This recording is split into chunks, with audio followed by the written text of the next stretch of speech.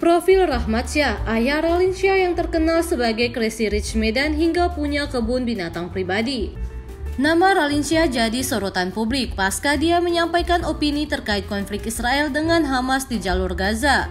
Artis 38 tahun ini mengaku tidak memihak siapa pun kecuali kemanusiaan. Namun aksi netralnya justru dikecam publik. Sebagai artis dengan jumlah followers sampai 10 juta, Ralinsyah dianggap tidak mampu memanfaatkan privilege tersebut untuk lebih tegas dalam menyatakan sikap.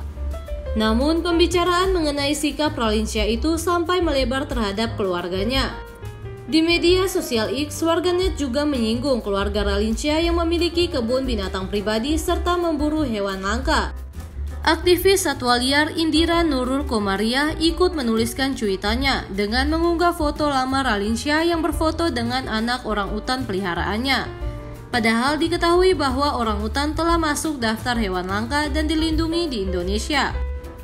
Orang utan juga dipakein baju dan dianggap peliharaan, tulis Indira saat mengomentari unggahan netizen lain dikutip Selasa 31 Oktober 2023. Potret lawas Ralinsyah itu pun membuat warganet jadi teringat dengan karakter Rati Shalendra di film Petualangan Sherina 2 yang diceritakan sebagai kolektor hewan langka termaksud bayi orang utan. Diketahui bahwa orang utan tersebut memang salah satu koleksi dari taman hewan milik keluarga Ralinsyah yang ada di Siantar, Sumatera Utara. Siapa sebenarnya sosok orang tua Ralinsyah hingga bisa memiliki kebun binatang sendiri? Berikut profilnya. Profil Rahmat Syah Syah merupakan anak dari Rahmat Syah dan Rosalin Syah. Ayahnya dikenal sebagai pengusaha sekaligus politikus. Rahmat Syah merupakan pria kelahiran 23 Oktober 1950, anak dari Gulrang Syah dan Haji Syarifah. Masa kecil Rahmat dihabiskan di perdagangan Kabupaten Simalungun, Provinsi Sumatera Utara. Sebelum jadi pengusaha sukses, ayah Ralinsyah itu sudah bekerja sebagai asisten tukang reparasi di bengkel mobil keluarganya di Medan dari tahun 1965 hingga 1970.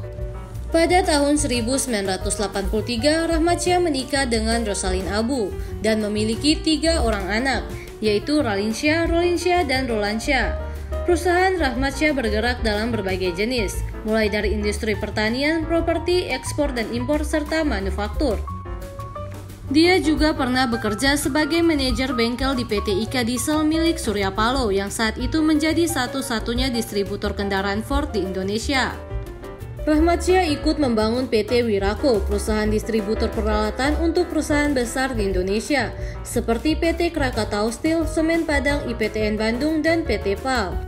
Karir politik di DPR dan MPR Karir politik Rahmat Syah dimulai sejak bergabung dengan Partai Golkar, namun keluar di tahun 1999 kemudian menyatakan dirinya netral. Sebelumnya Rahmat menjabat sebagai konsul jenderal kehormatan dari konsulat Turki untuk Sumatera pada tahun 1995. Setelah keluar dari Golkar, dia diangkat sebagai anggota MPR sebagai perwakilan Sumatera Utara untuk periode 1999 hingga 2004 dan bergabung dengan P3.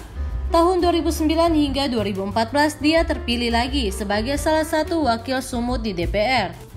Suka dengan hewan sejak kecil. Rahmat Syah kabarnya sudah tertarik dengan hewan-hewan langka dan berbisa sejak masih anak-anak. Kegemarannya terhadap hewan membuat Rahmat menginvestasikan sejumlah besar uangnya ke proyek pembangunan museum dan kebun binatang dia kelola sendiri.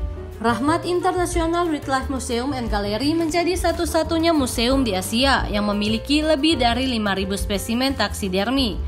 Museum yang berada di Medan, Sumatera Utara ini sudah dibangun sejak tahun 1999 dan di dalamnya menerapkan praktik perburuan konservasi.